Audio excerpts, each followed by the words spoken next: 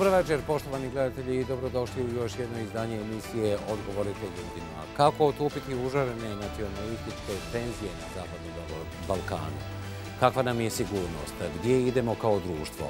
Koje su to neuralgične točke? U kojem pravcu ide regija? Desnim, srednjim ili lijevnim putem?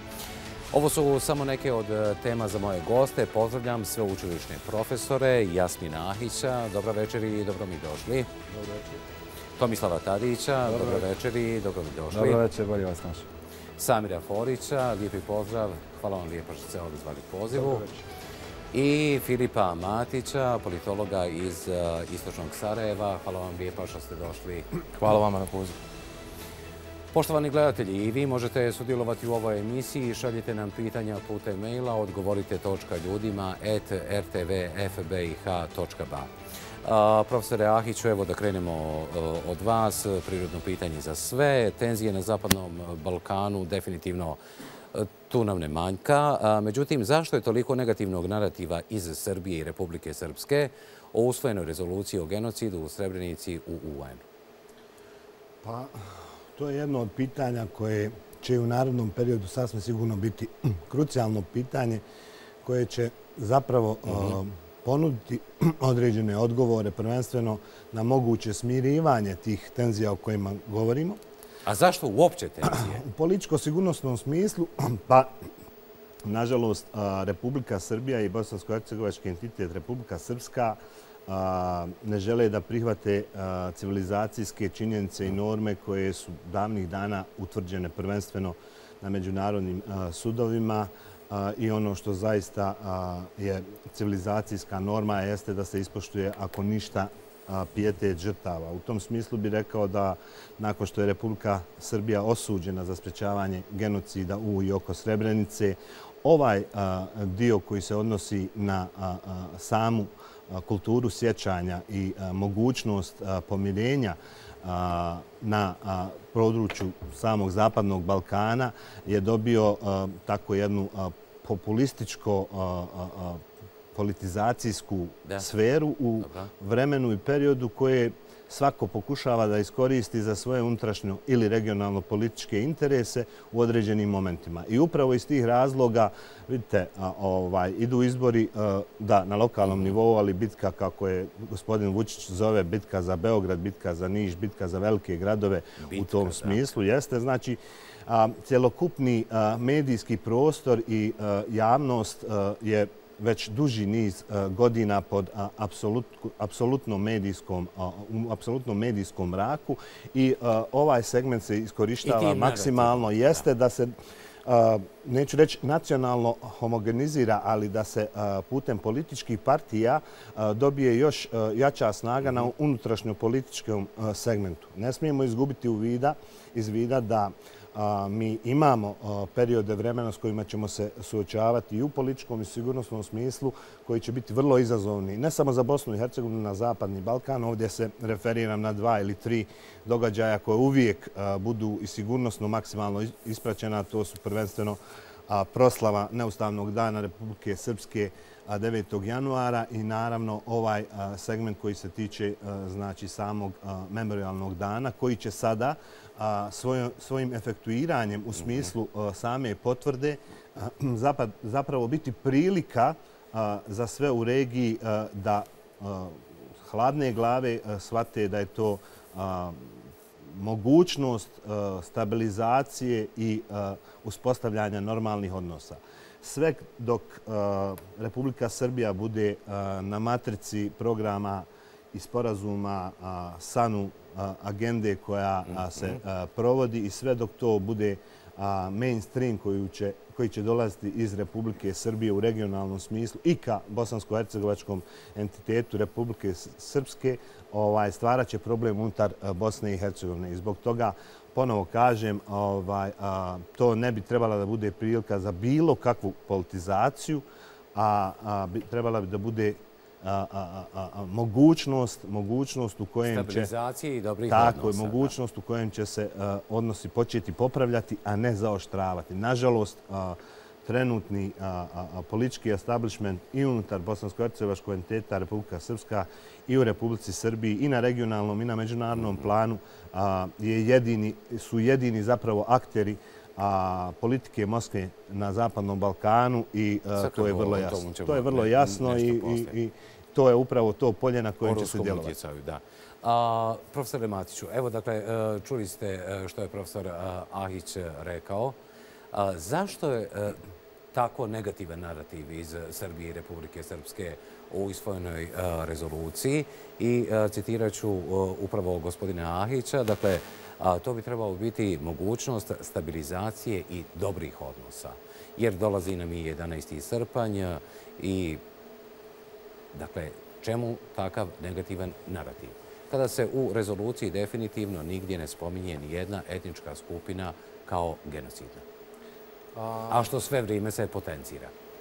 Svakako. Pa prvenstveno ono na što bih se volio referirati a u kontekstu je sa govorom profesora Ahića jeste da Srbija i Republika Srpska prevashodno u to pitanju ove rezolucije ne kritikuju samu rezoluciju i njen sadržaj u prevelikoj mjeri, nego prije svega način na koji je ona donesena. Dakle, taj veo tajnosti koji je postojao u samoj pripremi rezolucije prije svega, a onda i ta neka ubrzanost procesa. I to ne mora biti nužno riječi zvančnika Republike Srpske i Srbije. Mi smo čuli te riječi recimo od zvančnika Egipta na samoj sjednici Generalne skupštine Ujedinih nacija. Egipat koji je glasao za je također naglasio da je to jako ubrzan proces i da zaista baca jedan veo sumnje na cijelokupnu rezoluciju i da ovakva rezolucija, kao i svaka rezolucija o bilo kojem zločinu, treba biti predmet konsenzusa u Generalnoj skupštini Ujedinih nacija.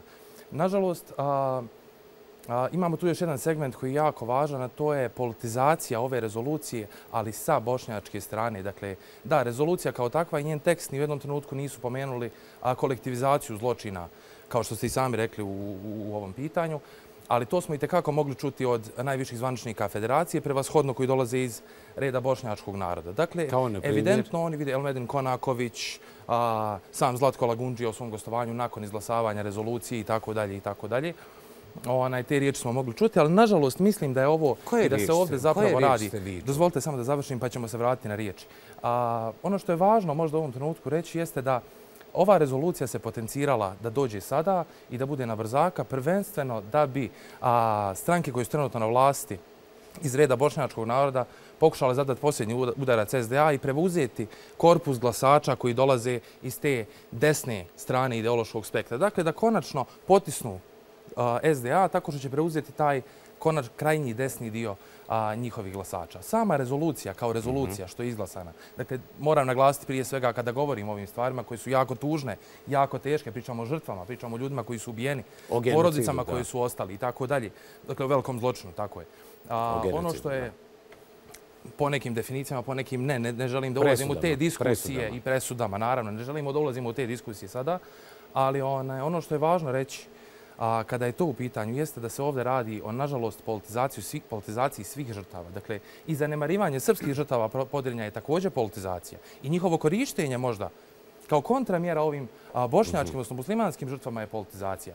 Dakle, ovdje se evidentno radi i naravno moram biti saglasan sa ovim dijelom lokalnih izbora da na sve ovo moramo dodati i na svu retoriku političara moramo dodati bare 20%, 30% zato što su lokalni izbori i evidentno će se te nacionalne politike reflektovati i na sam na sam rezultat izbora. Još neke stvari, samo kratko, kratko, skroz, da ne uzimam previše vremena na kolegama. Bih da probam u ovoj emisiji izbjeći neke stvari koje se nazivaju neustavni dan Republike Srpske, zato što je to proglasio Ustavni sud koji u kojem prevashodno mogu odlučiti stranci sa... Hajde da probamo pričati o nekim izvornim procesima. Dakle, Dejtonski mirovni sporazum je rezultat, je rezultat konsenzusa dogovora to je Dejtonski sporazum i ustav kao aneks 4 trebaju da predstavljaju, odnosno da sastave Bosnu i Hercegovini kao jednu konsocijativnu demokratiju, demokratiju dogovora, demokratiju konsenzusa. I svi rezultati, sva ova zaoštravanja koja imamo se dešavaju u trenutku kada bježimo od konsenzusa. Dakle, proslava 9. januara, što je ona sporna ako, recimo, cjelokupna Republika Srpska ili Vojska Republike Srpske ili cjelokupan srpski narod nisu genocidni? To kaže striktno rezolucija. Dakle, ne postoji kolektivno određenje. Zašto je sporan dan Republike Srpske koja je konstituent Bosne i Hercegovine? Ako dozvolite, vrlo kratko, naravno. Upravo u izlaganju mladog kolege smo mogli vidjeti zašto je potrebno, i složit ću se da ne moramo ulaziti u takvu diskusiju, jer mi smo prvenstveno akademski radnici, a ne političari, kako je vrlo lako upasti u tu zamku, u tu zamku ovaj, politizacije na način u kojem želite da pokažete svoj stav i naravno svaki stav ima pravo svako na svoj stav, ali upravo iz tog razloga, znači nemogućnosti revizionizma i relativizacije određenih stvari koje su vrlo bitne, ne trebamo ulaziti mi u segment političkog unutrašnjeg djelovanja. Znači, ono što je jedan od glavnih elemenata, a koji se postavlja pred sve nas, pogotovo mlade generacije koje dolaze evo i sa institucija iz Bosansko-Hercegovačkog entiteta Republika Srpka, jeste da ovdje nema uopšte segmenta tog pitanja naroda. Mi se moramo vratiti direktno onim stvarima koje se tiču institucionalnog okvira, a koje ste spomenuli kao mhm. Dejtonskog okvira. Znači, u tom segmentu, znači, taj dio relativizacije koju ste pokušali da iskažete na određene unutrašnjo-političke e, stranke iz federacije, apsolutno nema nikakve nikakve veze sa rezolucijom o počinjenom genocidu u Ujedinjenim narodima i njegovom obilježavanju na način da to više ne smije biti apsolutno tema. Zbog čega ne smije biti tema? Iz razloga što nije to sad samo više nakon svih ovih 29 godina pijetet e, žrtava.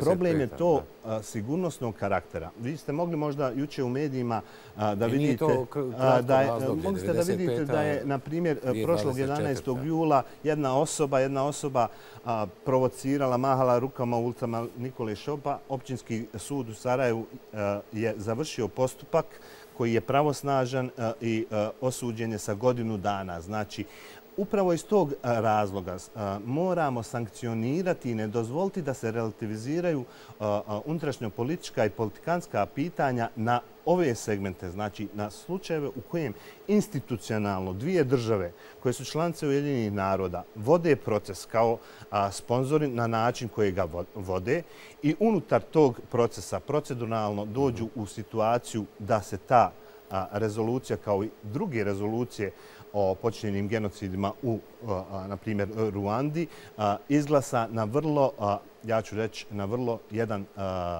pijetetan način u smislu da se ne dozvoli dio relativizacije i revizionizma u tom segmentu. Svaka kalkulacija u smislu brojki, da li e, je, šta je, kako, ne donosi, ne donosi onome o čemu ja govorim, a to je stabilizaciji političko-sigurnosnih mhm. prilika. Sve dok taj narativ bude dominantan u političkom diskusku, a sigurno, e, siguran sam, nažalost, da će i biti, a mi ga sami iznutra, prvenstveno, kao e, građani ove e, države ne mijenjamo, a pogotovo iz dijela akademskih institucija koje moraju biti apsolutno slobodne. Znači, bez obzira kome se nešto sviđalo ili ne sviđalo, da otvoreno kažu i da neki političar nema ovaj, zadrške da kaže pa ovaj mladi gospodin sa Univerziteta Istočno Sarajevo imao je svoj stav i taj stav cijenim i poštujem, iako se s njim ne slažem, mi ćemo biti pod tom kapom koju, na primjer, predsjednik Vučić i predsjednik Bosansko-Hercegovačkog entiteta Milorad Dodik žele. I u, takvom, u takvoj situaciji onda mi ne možemo, ne možemo ići naprijed i onda će se produbljivati jaz, stvarat će se blokade unutar našeg sporazumevanja i unutar našeg konsenzusa o kojem ste kolega govorili, a gdje bismo trebali ići naprijed. Dolazit će do blokada, dolazit će ovaj, do teorija i praktičnog segmenta koji se tiče nefunkcionalnosti države. Ja ću samo upozoriti sve nas da do prije, na primjer, pet ili deset godina nije bio problem nikakav, nije bilo ovaj tenzija. Bez obzira, iste su političke ili slične političke partije i interesi bili. Stvari se jesu promijenile kada je glavni diskurs Republike Srbije bio usmjeren u segmentu nakon agresije Ukrajine i početka agresije Ukrajine na početka Rusije na Ukrajinu, kada su i Srbija, a posebno posebno bosansko-hercegovijački entitet Republika Srpska postali jedini proksi Moskve u zapadno, na Zapadnom Balkanu i upravo iz tih iz tih razloga smo mi sada u ovakvoj poziciji.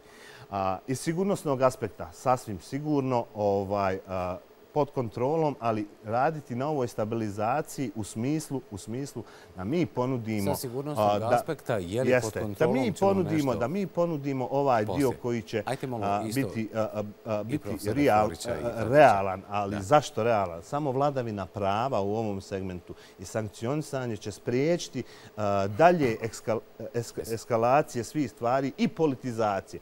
Znači, ako neko vrijeđa ovaj presuđeni e, ovaj e, genocid u Bosni i Hercegovini mora biti i treba biti podignuta optužnica. Ne treba se ići blažom varijantom u kojem se ide na e, segment ovaj kažnjavanja za raspirivanje nacionalne netrpeljivosti i mržnje, nego se nakon 50 prijava koje vjerovatno nisu bile kvalitetno prijavljene tužilaštvu Bosne i Hercegovine, treba se ući u procese i doći do segmenta gdje će postati sudska praksa da se onaj koji veliča ili negira genocid ili negira ratne zločine, nađe pod ovaj, stubom srama, odnosno bude sankcioniran za ta krivična djela koje su sada u našem krivičnom zakonu. Znači, sam efekt da, da pokušam sam efekt jeste da se spriječi daljna politizacija i daljnji, ovaj, daljnje raspirivanje te, e, te nacionalne, nacionalističke diskusije koja će zapravo podizati tenzije na unutrašnjem planu, kako u Bosni i Hercegovini, tako, i na Zapadnom Balkanu. Naravno. Dozvolite mi samo profesor, molim vas 30 sekundi samo da odgovorim na jednu kratku stvar. Ajde, moramo i složiti. E, Oprostite, molim vas što zauzmam prostor. Nego čisto, eto, razgovaramo i odgovaramo ljudima, je li tako? Jako interesantno i jako važna stvar koju ste rekli jeste da mi moramo insistirati na institucionalnom okviru Bosne i Hercegovine. Dejtonskom ili ovom promijenjenom u datom kakav je trenutno ili tako dalje, ali da to bude predmet dogovora naroda. Ali imamo jedan problem koji se zove evo u ovom momentu, kada govorimo o rezoluciji, dakle ne o sadržaju, ne o onome što je njen rezultat. Pa imamo situaciju da, dozvolite mi, oprostite, samo da kratko, složit ćemo se oko nečega. A, kako je moguće da Zlatko Lagumđija glasa, recimo, za bilo koju tačku, ne mora biti ova rezolucija, a, u Generalnoj skupštini jedinih nacija ako nema saglasnost predsjedništva. Dakle, to je direktno kršenje ustava ovog institucionalnog okvira o kojem govorimo. Dakle, čovjek koji samo inicijativno glasa, samo inicijativno djeluje tamo. Ali ajde da to lobiranje, predlaganje i tako dalje ne uzimamo. To su stvari koje, ok, neki diplomatski a, način postupanja i to da ne, ne uzimamo. Ali, dakle, glasati za bilo koju tačku bez saglasnosti predsjedništva koje a, svoje odluke, kao što svi vjerovatno znamo, donosi na konsenzusu. Dakle, onom izvornom principu Bosne i Hercegovine. Kako je to moguće? I to je nešto što također proizvodi krizu i što proizvodi i reakciju druge strane. Dakle, Ajde, nisi samo vas dvojica. Složit ćemo se sa, sa ovim, naravno, da legalni i legitimno potvrđeni ambasador Bosne i Hercegovine u jedinim narodima ima svoje nadležnosti i shodno svojim nadležnostima ovaj, inicira određene e, procese zajedno sa ovim što je kolega govorio oko dijela proceduralnog zastupanja u tom segmentu. Ali i to može podlijegati određenim preispitivanjima i eventualnom prekršajima. Ali nemojmo dovoditi u pitanje, nemojmo dovoditi u pitanje institucionalni znači kapacitet u kojem takva jedna osoba sad ovaj zastupa interese interese države Bosne i Hercegovine. Zašto vam ovo kolega govori? Zato samo iz jednog iz jednog razloga. Znači insistiranje na narodima u institucionalnom kontekstu Bosna i Hercegovina je država koja se sastoji od dva entiteta, je li tako? Po ustavu Bosne i tri naroda. Znači, prvo nam ide institucionalno. I građane. Entiteti, pa narodi i ostali. Je li tako? Znači, moramo se odmaći od tog segmenta. Slažem se, ali moramo se odmaći od tog odnosa pozicioniranja naroda u smislu institucionalnog kapaciteta. Zbog toga imamo ovako komplikovan politički sistem u kojem postoje svi mogući mehanizmi zašte interesa bilo kojeg naroda. Znači, hajmo na institucionalne mehanizme, hajmo na ono što su nadležnosti institucionalne mehanizme. Dok ne promijenimo taj narativ, sami ćemo upadati u u tu igru naših političara koji su iz ovih i onih razloga ovaj, u određenim vremenskim periodima u svojim strategijama, u svojim strategijama na pozicijama na kojima jesu. I to je, na primjer, jedan dobar mehanizam, mehanizam kojim ćemo preći Profesore Tadiću, profesore ovaj, Foriću, Dakle, vidimo definitivno negativan narativ iz Srbije i Republike Srpske što se tiče usvajanja rezolucije o genocidu u Srebrenici u Ujedinjenim nacijama. Posebice, na primjer, srbijanski tabloidi pišu da je Srbija pobjedila. Prebrojavaju se zemlje koje su bile za, protiv, suzdržane. Čemu sve to vodi? Evo, gospodine Tadiću. I čuli ste isto i profesora Ahića i profesora Matića. Nećemo tabloide uzmati kao referentan okvir da ostavimo tabloide, tabloidima, jel? I ko već čita tabloide u 21. stoljeću na takav način. Mislim, kad slušate diskusije i rasprave, jel? O našem društvu i profesor Ahić je rekao jednu važnu stvar. Bosna i Hercegovina je zaista kompleksno društvo i društvena organizacija i državna organizacija je izrazito kompleksna u Bosni i Hercegovini. No kad slušate jel, sve ove e, polemike i u javnosti, evo i mi večeras mhm. polemiku koju vodite, imate osjećaj da ste nekad upali u onaj žanru književnosti magijskog ovaj, realizma, pa ne znate gdje se prepliču subtilno igri zbilja i fantazija. Znate, tako to nekako oscilira i tako se nekako kreće po jednoj tankoj ravni. A to nekad imate osjećaj da... Zbilja je jedna, istina je jedna. Ne, ne, istina je, naravno, ja, to pitanje istine je sad filozofsko pitanje, to bi mogli puno o tome da diskutujemo, jer mi živimo u jednom parakonzistentnom svijetu, kontrafaktičnom svijetu, svijetu u kome treba izaći na kraj jel, sa kontradikcijama koje su svugdje oko nas. Šta je ovdje, hoću da kažem, važno u kontekstu ove rasprave koju su profesor Ahić i profesor Matić vodili? A vezano je dakle za kontekst rezolucije, komemorativne ili rezolucije za genocid u Srebrenici. Beskrajno je to važna stvar, nasučno važna stvar da se naše društvo u perspektivi oporavi i da će to neke plodove, da kažem. Neće to biti jednostavan put, ni kratak put, ali u perspektivi doće to u neku svoju pravu, da kažemo, poziciju. U čitavoj priči se zapravo najmanje govorilo o žrtvama genocida. Naša je, pazite, javnost i ozbiljna medijska javnost više pažnje posvetila političarima. Evo koliko smo puta večeras samo čuli imena političara, a jedva da se govorilo o žrtvama, pazite, genocid. To je strašna stvar. Dakle, vidite, i to se uspjelo potpuno pervertirati u ovoj igri nekog magijskog realizma, da mi govorimo ko je više doprinio usvajanju rezolucije ili Vučić koji to bože nije donio usvajanju. Mislim, to su smiješne stvari. Dakle, već unaprijed smo stvari postavili na jedan krivi temelj i zato vam kažem, to je jedna kontrafaktička igra tih silnica ili presjecanja i teško je govoriti sada za i protiv na način kao što to možete u prirodnim naukama. Jer u društvu postoje, kolega Forć, ja smo profesori sociologije, u društvu postoje paradoksi kao što postoje paradoksi u prirodi. Ali samo ćete te paradokse... Ali sjednici Vijeća sigurnosti UN-a, dakle, samo, samo da završim, ovaj, Srbije, Darijane, Vučića sa zastavom... Paradokse u prirodi vi možete objasniti, ali paradokse u društvu teško možemo objasniti. O tome se radi. Ne možete ih objasniti na način kao što ovdje imamo. Kao što u bilo kojoj društvenoj pojavi imamo. Posrijedi je dakle stvar da rezoluciju treba tretirati u kontekstu žrtava sa pijetetom, oni moraju imati makar enti dio neke satisfakcije, ako mm. mogu imati uopšte ti ljudi ikakvu satisfakciju od ovog života. Dakle, pitanje je možete li imati satisfakciju kad oživite jel, strahote u, tim kolepletima koje, koji su nas zadesili 90. godina, zaključno sa genocidom u Srebrenici. I tu treba posvetiti pažnju. Dakle, znate, iz te perspektive, iz perspektive žrtve treba ovo tretirati. Mi vidimo kontinuitet u našem društvu i sad je to važno u kontekstu ovoga što je profesor Matić, profesor Ahić govorili. Mi živimo retraumatizaciju kao novo normalno.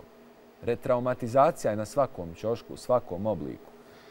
Prosto naše društvo, kad slušate sve ove rasprave, jel, kad gledate sve ove dijaloge koji su neka čini se sami sebi svrha, uh, prosto ne može da se suoči sa svojim nesrećama. Znate, ne može da se suoči sa svojim nesrećama i nekako iz nepoštenja, iz tog prosto nepoštenog odnosa prema svojoj vlastitoj prošlosti, Srbi prema svojoj prošlosti, Hrvati prema svojoj prošlosti, Bošnjaci prema svojoj prošlosti. Teško se može napredovati. Nema napretka za takvo društvo funkcija ovih rezolucija je u stvari ovo što je profesor Ahić govorio. A vi ste upravo potencirali da se društvo mora oporaviti. I da je, pa funkcija ovih rezolucija je upravo, upravo da se društvo oporavi. I to je nešto što će u perspektivi zbilja da se dogodi. Nama to može sad izgleda suludo da će, ne znam, određeni politički... Mi se možemo da, dosta ubjeđivati, znate, oko temeljnih postulata. No, imate narativ i narativ je takav. Nećemo se složiti, izgubit ćemo dva, tri sata, ne 70 minuta emisije, nećemo se složiti. Ali je važno e, konstatovati da će u jednom trenutku, i to možda čak i u bliskoj budućnosti, doći do postepenog isjedivanja ovog društva i prihvatanja ove rezolucije od strane onih koji je možda trenutno neće da prihvate. Eto, to je jedna kratka observacija, ako sam bio malo dugo prost. Dakle, evo, da se odmah nadovežemo na profesora Tadića. Dakle, a, društvo jednostavno da se oporavi i da će rezolucija o genocidu u Srebrenici koja je usvojena pred Vijećem sigurnosti UN-a s vremenom i biti lijek? Pa vjerujem da hoće, s tim da će trebati vremena i dosta političke volje. Stvar sa rezolucijom, odnosno njen značaj, njen centralni značaj je moralno-simbolički. Generalna skupština Ujedinjenih nacija ne djeluje samo kao politički forum, to je forum koji zapravo prezentira moralnost čitavog čovečanstva. A, zašto su negativi zašto su zapravo narativi bili negativni iz Republike Srpske i Srbije?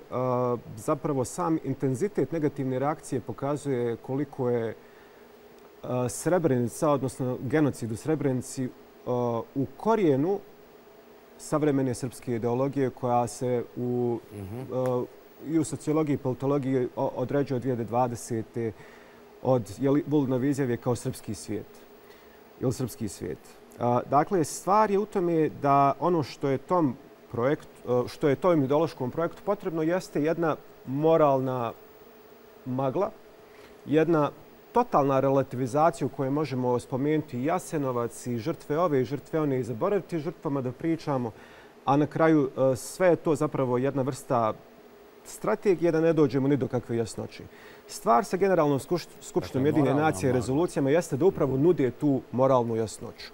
Dakle, govore tačno šta je bilo i to razmjeravaju sa civilizacijskim vrijednostima koje vi možete prihvatiti ili ne morate prihvatiti. Stvar je vrlo jasna. Neće vas niko tjerati na to zato što rezolucija nije pravno obavezujuća, već zapravo ima taj moralni karakter. E, sad u ovom procesu, dakle, nastanka negativnih narativa i ovdje ću se kratko izraziti e, neslaganje zato što nisam baš 100% siguran da su proces, e, nisam baš 100% siguran kako jedna i druga strana reagirala. Ja znam da kad je e, prvi put sam saznao o rezoluciji u Srebrenici, jel govori, rekao se da se pripremalo u tajnosti. Kad je Aleksandar Vučić, e, predsjednik Republike Srbije, rekao da se priprema neka rezolucija kojom će se ukinuti Republika Srpska. Mi svi ovdje kao žitelji ove zemlje znamo da Republika Srpska činjenica Haris Ilajđević je 2006. godine sanjao i nikad se taj san nije ostvario, niti će, niti će se ostvariti da to nastane. Tako da pustimo se glupih priča, odmah smo provali u čemu je riječ. Dakle, nejasnoća relativizacija i moralna inverzija, gdje vi zapravo uh, one koji su žrtve i koji su pozicionirani kao žrtve unutar rezolucije, zapravo sad mijenjate i mjesto, postavljate ih u ulogu agresora, nekoga kome treba zalijepiti metu na čelo, a govorite to riječnikom autoviktimizacije gdje se vi mhm. predstavljate kao nosioci kolektivne krivnje koja se uopšte ne spominje u tekstu rezolucije. Dakle, to je sva ta igra. I, dakle, iz moralne magle i moralne relativizacije inverzije dolazimo konačno do usvajanja te rezolucije koja potvrđuje moment moralne jasnoće s tim elementom kao i s drugim elementom koji se odnosi na ovo što je profesor Ahić govorio, a to je da imamo institucije pravosudnog sistema koji sankcioniraju a, devijantno ponašanje poput negiranja a, genocida i glorifikacije ratnih zloči, a, zločina, tek dakle s ta dva elementa i protekom vremena mi možemo doći u stanje da zacijelimo kao društvo. Jer ovdje bošnjaci... kao što je profesor Tadić. Da, jer bošnjaci nisu u poziciji niti zapravo likuju i zbog čega, ako zbog čega treba likova, treba likova zbog pobjede civilizacijskih vrijednosti, ako u njih vjerujemo. I trebamo naravno imaju, imati u vidu pijete žrtava, iskoristiti rezoluciju uh, da memorializiramo sve što se desilo, kako bi to jedno bila poruka za sve buduće generacije, što je i cilj osnovni memorializacije.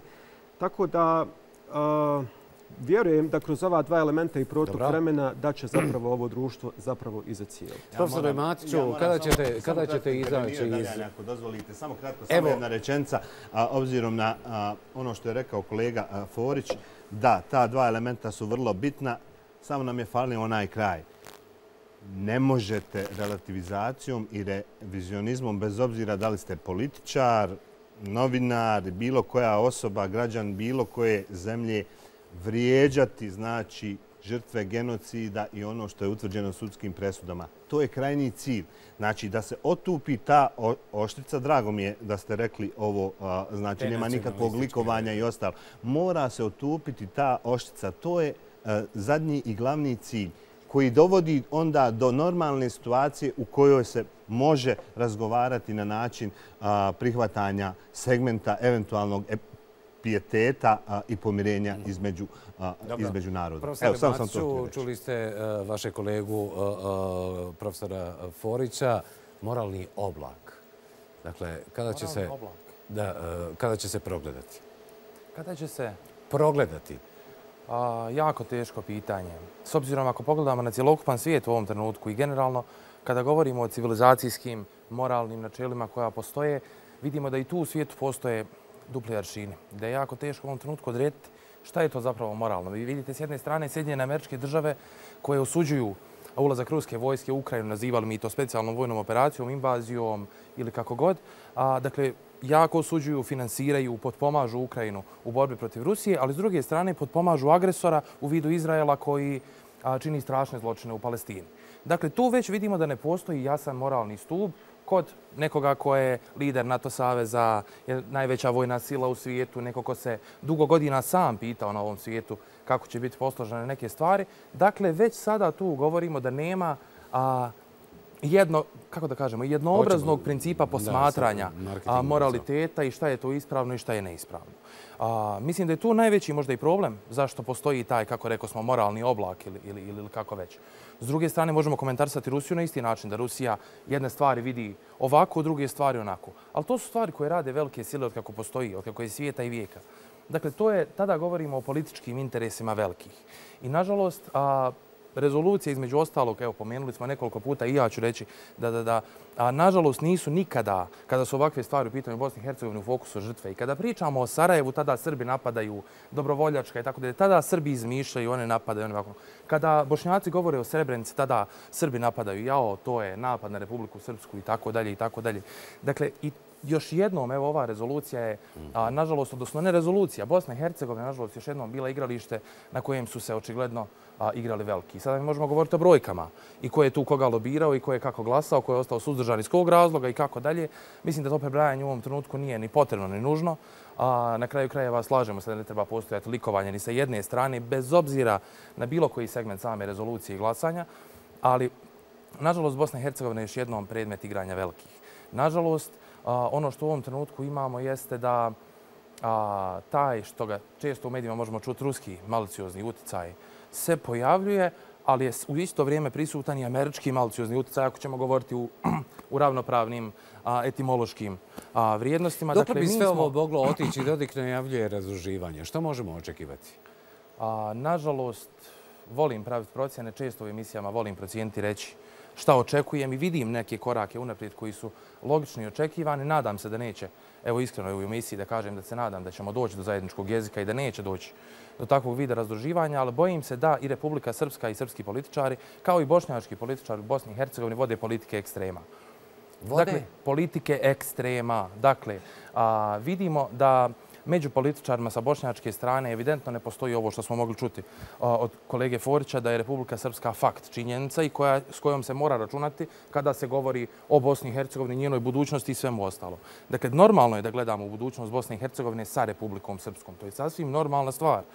Ali, nažalost, čini mi se da, da, da sa strane a, ovih lidera koji se pojavljuju i koji su i prije toga bili, da to ipak ne postoji. To smo mogli čuti kroz razne narative koji su čak i uvredljivi od onih republike, republike šumske do raznoraznih, raznoraznih određenja, variacija, inicijativa, a, kritikovanja 9. januara, a, mnoštva, mnoštva, mnoštva nekih stvari. Tako da a, mislim da, nažalost, a, oblak moraliteta, da se vratim na vaše izvorno pitanje, jeste prije svega pitanje mnogo šire konteksta, a s druge strane ja njemu ne vidim, ne vidim neku rupu preveliku na njemu.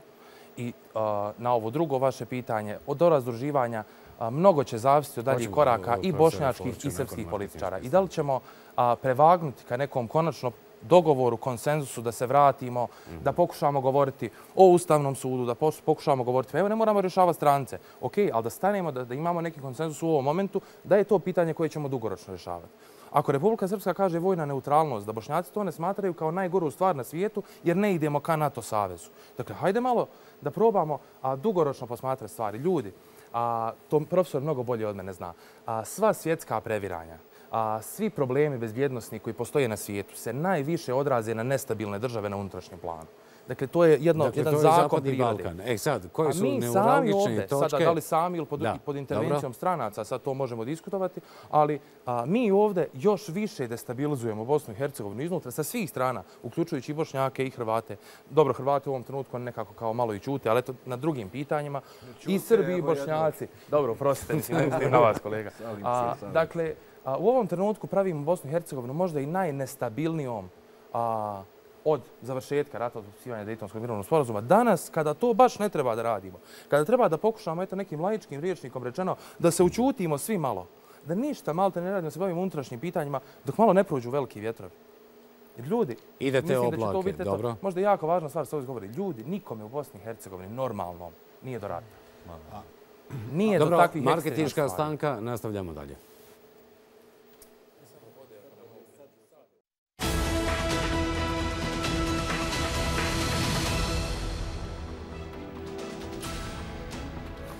Hvala na svom studiju. Profesore Foriću, vi ste ostali dužni za repliku kolegi Matiću. Dakle, da, sad jedna interesantna kontrapozicija.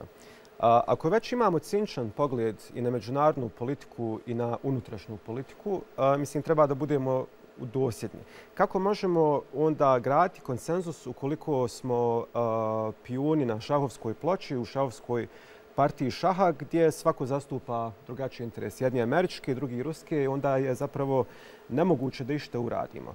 A ovo inzistiranje na konsenzusu svakako da treba, zato što konsenzus između naroda i unutar institucija, zato imamo i predstavnički dom i dom naroda na kraju krajeva, jeste jedna Jeste jedna stvar koja je potrebna i za koju smatram da će ići svojim prirodnim redoslijedom ukoliko se zato i kad se zato, jer smatram da će se zato neminovno stvoriti uslovi. A takvi uslovi nekad dolaze kao posljedica nametanja, kao što je recimo bio slučaj 96. godine eh, i 97. godine pardon, sa nametanjem tablica, zajedničkih tablica. I da se nismo mogli osloniti na neki institucionalni mehanizam poput jeli, ovlasti visokog predstavnika, ništa od tog ne bi bilo moguće. A, ok, sad vezano za, vezano za drugu temu i ovo što Dodik najavljuje. Razduživanje. Razduživanje. Dakle, politički akteri, unutar institucija, odnosno vođe stranaka, funkcioniraju u jednoj, uh, funkcioniraju po logici igre koja ima jasne ograničenja. Dakle, mi ovdje, što je karakteristika savremenih demokratskih i političkih sistema, funkcioniramo na bazi antagonizma, političkog antagonizma. Ne slažemo se, imamo netrpeljivo zato što zastupamo različite interese i vrijednosti i to je apsolutno u redu. Međutim, kad napustimo institucionalni okvir, prelazimo u sferu agonizma što povlači za sobom bukvalno urušavanje kompletnog poredka. Da li je bilo koji akter toliko sulud, jer zato stvarno treba biti sulud, da to uradi, ja mislim da nije. Pogotovo ne Dodik koji se u jako puno puta pokazao kao racionalan akter, pogotovo na početku svoje političke karijere. Što se tiče negativnih posljedica koji bi se mogli desiti kao posljedica razdruživanja, iako im je smiješna stvarno ta priča, mislim da je još jedna u nizu od ovih političkih performansa kojem, nažalost, moramo svjedočiti kao što i nesretni građani u Republici Srbiji moraju svjedočiti performansima svog predsjednika. Ali ukoliko bi se to desilo, onda bi naravno posljedice bile strašne. I ovo će biti ovo ono naredno pitanje koje nas čeka, a to je pitanje e, sigurnosnih rizika. Prema istraživanju Međunarodnog e, republikanskog instituta koje je provedeno u martu eh, i aprilu ove godine među eh, uzorkom populacije iz oba entiteta Građani federacije su na pitanje da li biste bili spremni da sudjelujete u sukobima ukoliko bi do njih neminovno došlo, 58% ispitanika iz federacije odgovorilo potvrdno. 68%, pardon, 52%, 68% ispitanika iz Republike Srpske odgovaralo, odgovorilo da ne bi. Dakle, možda postoji statistički gledano čak i manji interes za sukobljavanje u Republike Srpskoj iz kojeg dolaze zapravo gro ovih tenzija. A što se tiče bošnjačkih političara i nepriznavanja ili poricanja Republike Srpske, Ok, ima ih, priznajem, jednog od njih sam već spomenuo ranije. Međutim, ne treba zaboraviti da je 2008. godine Suleiman Tihić kao predsjednik najveće bošnjačke stranke otišao u Narodnu skupštinu Republike Srpske i izvinuo se za zločine koji se desili nad srpskim stanovništvom u proteklom ratu i time je priznao legitimitet i pravni fakticitet Republike Srpske kao bosansko-hercegovačkog entiteta. Ono što Trojka radi u kapacitetu bivanja u vlasti je isto tako afirmacija tog entiteta, tako da ne vidim zapravo koliko su plauzibilne e, ove tvrdnje da bošnjački političari čitav sve svoje resurse i misije posvećuju ukidanju entiteta koji jednostavno čini unutrašnju strukturu Bosne i Hercegovine i to je to. Profesor Ahiću, koje su to neuralgične točke na Zapadnom Balkanu? Dakle, vidimo definitivno, evo, i od e, Dodikove najave razdruživanja, e, dakle, što se događa i u Crnoj Gori, a prosvjedi e, SPC, a ruski utjecaj e, dakle, iz Crne Gore e, kažu da je instrument u stvari da dolazi iz Srbije. A na Kosovu dakle, se zatvaraju, zatvorene su, policija je zatvorila srpske banke, nema srbijanskog dinara. A uvjet e, da se uđe e, od Europske unije u Vijeće Europe je e, srpske općine, na što je Kurti rekao da ne želi. Dakle, koje su to neuralgične točke na Zapadnom Balkanu e, i e, eventualno kako ih smiriti? Hoće li doći do nekih sporadičnih izgreda? Hvala na tom pitanju. To je ključno pitanje za budući period koji je ispred nas. Ja ću vrlo kratko samo napraviti jednu malu retrospektivu od tog 9. januara kao neustavnog dana Bosansko-Hercegovačkog entiteta Republika Srpska, kada smo po prvi put, bez obzira na tu pompeznu politizaciju, pokušaje maksimalne nacionalne homogenizacije i zato zatezanje segmenta između odnosa u tom periodu kada smo po prvi put imali jasne alarmantne odgovore od strane međunarodne zajednice u segmentu provedbe sigurnosnog dijela mirovnog ugovora koji je potpisan u Daytonu na način da smo imali u e, prelijetanja NATO aviona koji su vođeni od strane oružanih snaga Bosne i Hercegovine koji su korporirani naravno i korpusi kako mhm. e, svih naroda po standardnom tradicijskom. I onda je došao taj februar koji je označio prekretnicu u tom dijelu sigurnosno-obaveštajnog rada na način da ti alarmi koji su bili upućeni u ranijem periodu prema bosansko-hercegovačkom entitetu, Republika Srpska i prema Srbiji su došli do maksimuma nakon što je u izvještaju, zvaničnom izvještaju obavještajne zajednice Sjedinjenih američkih država kao okvirnom ovaj, izvještaju koji daje najširu poziciju gdje detaljno ne pozicionira stvari, bilo kazano da će secesionistička politika bosansko-hercegovačkog lidera Milorada Dodika ovaj, e, moguće proizvesti e, ne samo e, ovaj, tenzije, nego i moguće oružane incidente. I onda kad kad idemo sa svim tim primjerima, analizom od e, samih prosvjeda pa granice nema na administrativnim linijama, pritiska u tom segmentu, dobijamo jasan odgovor i od strane povećanja kapaciteta, prvenstveno Eufora, zatim dolaska NATO Saveza sa zvaničnom konferencijom u, ovaj, u Sarajevo u februaru na čelu sa Jensom Stolterbergom i jasno pozicioniranje ključa problema Moskva. Nakon toga, nakon toga predsjednik Dodik se odlučuje na još jedan potez koji je također doprinio tome da se maksimalno ovaj, sigurnosna situacija drži pod kontrolom, a to je odlazak na sigurnosnu konferenciju u St. Petersburg zajedno sa gospodinom Nešćem, ministrom sigurnosti Bosne i Hercegovine, nakon toga Bjelorusija i Rusija, gdje se sastao sa prvim operativcem i obaveštajcem Petruševim i dobio ovaj, razgovore koji su se onda interpretirali u period koji smo imali od marta, evo sada je početak juna. Znači, svima je bilo jasno ovaj, da na taj način da na taj način se drže tenzije. Zašto je to vrlo povezano? Iz razloga što smo prošle godine imali jedan veoma ozbiljan teroristički incident u Banjskoj, gdje smo imali organizovanu, naoružanu terorističku grupu koja je pokušala da jedan dio teritorije na sjeveru Kosova, znači do sada su bili protesti, napadi na KFOR, napadi, znači imali smo takav jedan reprezent koji je direktno bio vezan. E sad kad sve te analize uzmete u obzir i da je predsjednik Vučić tako je, da je predsjednik Vučić na insistiranje, istina, nakon šest mjeseci smijenio sa pozicije direktora Bezbjednostno informativne agencije Republike Srbije gospodina Vulina, koji je tvorac srpskog sveta, i ponovo ga vratio u sada novu vladu Republike Srbije, istina, ministar Bezpor Felja, ukazuje na stremljenja stremljenja srbijanske politike ka svojim susjedima u smislu, znači, evo ja kažem, ozbiljnog i analitičkog pristupa određenim formama ovaj, sigurnosne saradnje na Zapadnom Balkanu. I kada imamo takvu situaciju, vidite, prije dva dana parlamentarna skupština NATO Saveza je primila Kosovo u ovaj, parlamentarnu skupštinu NATO-a.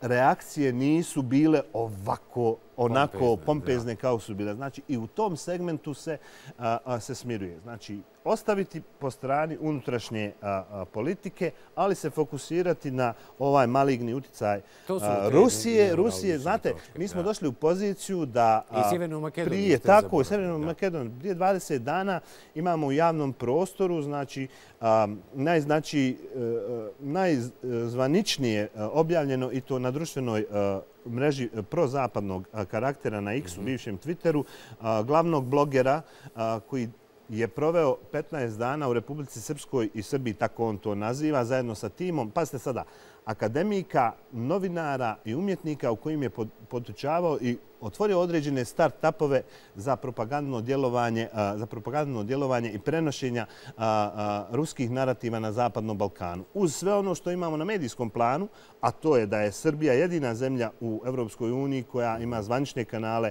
državnih televizija kao što je Sputnik i Russia Today, koji konstantno provode propagandne i obaveštajne djelatnosti mhm. specijalnog rata i onda mi kada se nađemo u poziciji da nam je nešto zamagljeno, kao što je e, kolega Forić govorio, onda pokušavamo da dođemo e, do određenih informacija da li je to zaista tako. Uzimajući da su se jedini realno ozbiljni incidenti, e, odnosno protesti koji su mogli biti sigurnosno ovaj, a, a, a, problematični desili samo u Crnoj gori u Podgorici od strane desničara, od strane desničara na način prosvjeda ispred vlade. Vidimo da su to dvije, odnosno tri tačke sa kojima će a a kreatori E, ove ideologije srpskog svijeta pokušati da utiču na zemlje u regionu, uticati u regionu, a da zadrže eventualnu poziciju, eventualnu poziciju da kažu da i dalje mogu stajati, odnosno sjediti na dvije, e, na dvije stolice. I tu imamo situaciju da predsjednik Vučić nakon Makrona i Francuske prima predsjednika Republike Kine Xi Jinpinga, ovaj, razvija dalje e, saradnju, interese više ekonomskog karaktera u tom smislu, ali i vojnog i konstantno naoružavanje koje je sad, koje je sad već prelazi određene granice, određene granice ovaj standarda i uspostavljeni standarda koji je potpisan Dejtonskim sporazumom. Tako da očekuje nas nadam se, e, nadam se ne tako vruće ljeto, obzirom da se sada političari moraju baviti i u Srbiji, a i u Bosni i Hercegovini, prvenstveno lokalnim izborima, lokalnim izborima i ono na što treba voditi računa, o čemu treba voditi računa, jeste da se mi ne dovedemo u poziciju i kao građanstvo, i kao politika, i kao kapacitete da izlazimo iz ovih naših uspostavljenih institucionalnih okvira. Svaki izlazak i politizacija i politikanstvo nas dovodi u problem i narušava ovaj segment konsensusa i eventualnog kompromisa u iznalaženju određenih rješenja. Jer crvene linije se moraju znati bez obzira odakle dolazile, pogotovo kada je država Bosna i Hercegovina u pitanju. Stoga, aktivnosti koje će se voditi eventualno ovaj, na nekim procesima oko Ustavnog suda, oko državne imovine, sve smo to sada izgubili iz vida. Vidite kako to splasne upravo iz ovog segmenta. Znači, u dijelu pritisaka na političke partije i u onom dijelu aktiviteta, to je vrlo bitno. A kada povučite liniju da u junu Bosansko-Hercegovački entitet dobija prvu ratu velikog kredita, od uh, zaduženja od 600 mhm. miliona i da, je, da se zaista nalazi, što mi nijukom slučaju nije drago, u vrlo teškoj ekonomskoj, ovako ću to nazvati, uh, situaciji, vraćanjem svojih međunarodnih obaveza kojima je garant država Bosna i Hercegovina, obzirom na proceduru, mislim da je uh, realno očekivati da se i te tenzije spuste i da se krene sa određenim vrstama popuštanja i kompromisa. Sadiću, evo dakle, e, profesor Jakić nam je dao tu e, sigurnosnu analizu e, tjelokupnog Zapadnog Balkana sa sociološkog aspekta. Kako vi komentirate? Dakle, i tu retoriku na koju se moramo vratiti, političku, zveckanjem oružje, prizivanjem 90-ih, sve miriše na 90. Pa onda nećemo da dišemo zajednički zrak e, sa bošnjacima i tako dalje. Profesor Ahić jeste sjajno u stvari posložio ove stvari koje se vežu za pitanje sigurnosti jer operirate i velikim brojem činjenica prosto koje pratite to profesionalno, pa čovjek to ne može sve ni, imati u kalkulaciji, jel, ovako kad se bavite nekim drugim temama profesionalno. No, ja bih samo jednu rečenicu, jel, još kao jednu vrstu šlagvorta e, praktički na, na ovo što je profesor Ahić postavio kao tezu za Bosnu i Hercegovinu. I tačno je ovo sve što smo govorili. Dakle, da ima tu i geopolitičkih velikih preslaganja. U biti, ali mali uvijek stradaju, znate. I vi kad gledate realno danas međunarodno pravo, jel, šta je međunarodno pravo i za koga važi, malo, za male i nemoćne. Za velike sile međunarodno pravo ne važi. I zato je, mislim, to je stvarnost, jedna brutalna stvarnost u kojoj mi živimo. I mi živimo zbilja u vremenu, ono što Ulrich Beck govorio, jel, vojno prepolovljene demokratije. Znači, jeste demokratija, jeste demokratsko društvo, ali samo ako je jako vojno osigurano, jel, ako možete da je branite vojnim sredstvima. Zato je za Bosnu i Hercegovinu, to je važno što je profesor Ahić pojentirao. E, ja sam o tome tweetao, nije to baš nekad naišlo na pozitivne ovaj komentare. Važnije su NATO integracija od EU integracija. Koliko god to čudno da. NATO integracija su garant mira u Bosni i Hercegovini, ako hoćete i u regiji koliko god sad to bilo, nema konsenzusa, naravno, jel, razumijem da nema konsenzusa, jel, Srbi neće nikad na to pristati, neće o tome kazati afirmativne stave, ali ja vjerujem upravo zahvaljujući ovim... To je sigurno, profesore, Ahiću u Crnu Goru i spasilo. Jeste, ali upravo zahvaljujući ovim velikim geopolitičkim turbulencijama, jer niko od nas, vi to sigurno bolje od mene znate, ne znaćemo se sutra probuditi u nekoj svjetskoj konflagraciji, nekom svjetskom ratu, nekoj velikoj svjetskoj opasnosti, jedino u stvari kad nam dogori do noktiju svima kao građanima, konkretnim ljudima koji ovdje imamo svoje porodice, djecu, roditelje, to će biti jedina u stvari brana ovaj, da, da budemo sigurni i da, naše element, da, da imamo pravo da obezbijedimo elementarnu egzistenciju. Da. Na, odgovor na naše pitanje, mislim, povezat ću joj. E, u sociologiji postoji koncept ontološke sigurnosti. Govorio o njemu, recimo, pisao Anthony Giddens, sociolog. Zašto je važan koncept? Zato što dobra društva i dobre države u modernom svijetu, civilizovanom svijetu 21. stoljeću, obezbjeđuju svojim građanima osjećaj sveukupne sigurnosti njihovog bića od ujutru kad ustanete pa nadalje. A ne da jel, kad ste, e, imate priliku u javnosti pa da razmišljate hoćete li ostati bez posla ako kažete nešto što se neće svidjeti vašem poslodavcu. To je osjećaj dakle, intrinzične sigurnosti pojedinca koja je vezana naravno i za e, vojni sektor, sigurnosni sektor, načine kako da se izbjegnu, to se zove jel, hibridne operacije, jel, hibridne specijalne operacije, tako dalje. Sve je to inkorporirano. To. Naše društvo je u stvari sušta suprotnost od toga. Mi niko nema osjećaj ontološke sigurnosti, nego svi imamo osjećaj ontološkog straha. Dakle, kad se probudite, svi smo u strahu. Kako ćete nahraniti dijete? Ako se, ne daj Bože, dijete razboli, hoćete li kao moj jedan kolega morati napustiti posao i državu i sve će vam biti karijera i život koji ste stvarali, bit će vam nevažni. To su komponente o kojim se mora govoriti pošto znam da nema još puno vremena, samo bih zaključio. NATO integracije prije EU integracija važnije su za sigurnost. Evo i profesor Rahić, ovaj, definitivno. A profesore Foriću, profesore Matiću, dakle, evo, e, e, cijelokupnu analizu u kojoj su to neurologične točke na Zapadnom Balkanu, da on nam je profesor e, Jasmin Ahić. Dakle, vidimo i kuda svijet ide, desno. Čemu se onda definitivno mi ovde u Bosni i Hercegovini možemo nadati? Je kolega vi?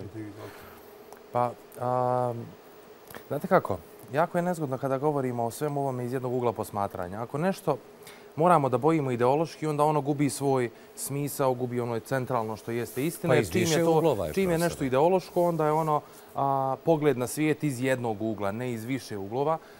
Ja, nažalost, ne mogu biti saglasan sa, sa, sa profesorom Ahćem što se tiče ovih nekih stvari iz jednog prostog razloga što to sve zvuči kao jedna velika a, zavjera iz fantazije o kojima je kolega govorio, odnosno iz tog nekog...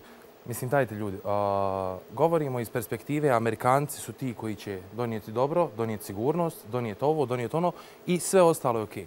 Okay. Stanovnici Hadžića i dan danas a, u mnogo većem procentu oboljevaju a, od tumora, zbog osiromašenog uranijuma koji je došao sa strane Sjedinjenih američkih država. Bombardovanje, evo da kažemo, recimo da pokušamo posmatrati objektivno da je to neko bombardovanje možda bilo potrebno ili ovako ili onako, čemu osiromašeni uranijum u tim bombama? Čemu tolika dehumanizacija, dakle da se godinama kasnije ispašta zbog takvih stvari? Ista ta Amerika, ja moram da moram se prekinuti. Sačekajte, pa ja sam, nisam bacivao se vama u riječ dok ste snimali analizu. Vi ste posebice znanstvenici. Gdje je dokazano da je korišten... Činjenice, argumenti. Da je korištena ta vrsta, vrsta hemijska vrsta, kako ste nazvali. Vi tvrdite da ne postoji, da nije znači, osiromašeni uranijum korišten Kad nešto tvrdite, morate znati da je dokazano i kad. Evo, recite mi neki slučaj gdje je neka institucija ili bilo koji zavod, evo, entiteta Republika Srpska ili bilo šta drugo, gdje imate referentno da se pozovete da je korišten osiromašeni uranij. Zavod za onkologiju Univerzitetskog kliničkog centra Banja Luka, profesor dr. Mirko Šošić, koji je predvodio to istraživanje ljekara iz 2020. oprostite ako ću pogriješiti godinu, gdje se dokazuje da je mnogo veći broj čak za čini mi se 30 i nešto posto oboljelih na teritorijama gdje su padale te NATO bombe u odnosu na ostale teritorije na kojima je. Vidite, Evo ja vam se pozivam, ako hoćete mogu vam i posle emisije dostaviti za to istraživanje, pa da možete i vi njega pogledati. Zato što govorite o stanovnicima Dakle, mislio sam da je to više opšte poznato. Znači, znate kako to sad izgleda? Hadžića, Lukavice i tako dalje, i liđe jednih dijelova i znači, tako dalje. Znači, nekom zato treba odgovarati da je to referentno. Ja ću pogledati zaista to istraživanje, imam vaše kontakte. Ako je, ako je, zaista, ako je zaista dokazano, mislim da ste ovaj, iskoristili nereferentan argument. I ponovo ste upali u situaciju, u situaciju, ne moramo mi govoriti ovdje o Zapadu i Americi i ostalom. Ja vama želim reći samo jednu stvar, kao slobodnom čovjeku. A mi moramo mijenjati narative. I apsolutno se slažem da neko ima kulturološki, tradicijski, ideološki ovaj segment prisnosti, prisnosti ili, ili pogledu na određenu političku, političku situaciju, ali političku situaciju ili i, politički e, e, ovaj, okvir. Ali morate biti svjesni činjenica u kojem ta slobodoum, slobodoumnost prelazi granice onoga što se zove evo, i ova ontološka sigurnost, samo iz jednog razloga. Znači, kada govorite o tome, mi sada već imamo situaciju koje imamo potvrđene mm. slučajeve, na primjer, odlazaka naših državljana, bosansko-hercegovačkih državljana i državljana bosansko-hercegovačkog uniteta Republika Srpska na ukrajinska ratišta u, ovaj, u oržane snage ili paravojne snage koje se bore na strani Rusije protiv Ukrajinaca. Znači, zato sam govorio o segmentima realnosti u kojima se nalazimo. Nemam ništa protiv stava, ali moramo biti znanstveno utemeljeni. Kratko apsolutno, i završavamo sa profesorom. Ako govorimo o relevantnim izborima, da li to znači da su isključivo američki ili instituti koji dolaze sa te strane relevantni, a neko ko ekipa ljekara iz Republike Srpske doktora koji ne ispituju uopšte bombardovanje i tako dalje. Dakle, Dobro, rekli se da ćete dostaviti profesoru Ali evo, samo kratko, naravno, što se ovoga tiče. Što se tiče ostatka svega ovoga. Kada govorimo o tim percepcijama, dakle, odnosno o perspektivizmu, o koje kolega je upomenuo, ne znam da se se čulo i iza malih ekrana, taj perspektivizam je jako važan, recimo, posmatrajući, evo, pomenuli ste i Kosovo između ostalog. Kosovo koje je opravdano je da traži nezavisnost, odnosno da bude možda nezavisna država. Amerika će to podržati, NATO će to podržati. Iako znamo svi one snimke kada su se protjerivani Srbi, kada su rušene crkve i tako dalje i tako dalje. Bez obzira, to će se sve skloniti na stranu kao što se slanja sada dešavanja u Palestini, jer je to američka doktrina njihovih interesa. Kada treba da ispune svoje interese, onda se zanemaruju te stvari. To najbolje vidimo na gazi sada. Dakle, Kosovo može i to su opravdani postupci i svako djelovanje Srbije koja želi svoj integralni dio teritorije da u potpunosti vrati kontrolu nad svojom teritorijom, to se smatra malignim utjecajem, to se smatra agresijom, to se smatra nekim drugim stvarima. Zašto nezavisnost Kosova i nezavisnost Republike Srpske, za koju naravno govorimo kao nekom ekstremu tamo nečemu abstraktnom u potpunosti, zašto su to dvije različite teme? Dozvolite, nisam završio, molim vas, evo jednom sam već dozvolio. Onaj, ono što, si, što je također interesantno, taj, um, nazovite utjecaj Rusije kroz a, Srpsku pravoslavnu crkvu u Crnoj Gori, da je a, Crna Gora spašena, mislim, a, od vas da sam mogu čuti, Darijane, da ih je spasilo to što su bili u NATO savezu.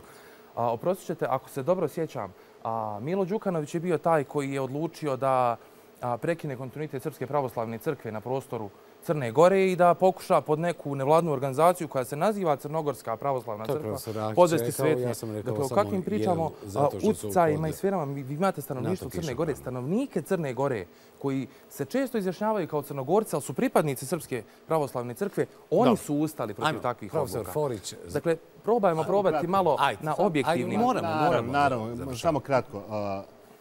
Znači, stremljenje i Republike Srbije, bez obzira na ideološku matricu Sanua, memoranduma srpskog sveta i bez obzira na sve, su zapadno evropske integracije, evo, bez ovih euroatlantskih integracija. Tako je, ona je sporna, evropske nisu sporne, atlantske jesu. Znači, mi imamo ruski maligni uticaj i to smo svi svjesni, bez obzira na sve. Tako, imamo i američki, pitanje koje se postavlja zašto oni koji smatraju da je ruski uticaj dobar, mada ga ja nigdje ne vidim, ni u ekonomskoj sferi, ni u ni infrastrukturnoj, ni u finansijskoj, ni ostalo, zašto svi mi sa ovih prostora i iz Srbije, iz Bosne i Hercegovine smo nezadovoljni, idemo na zapad, zašto ne idemo u Rusiju?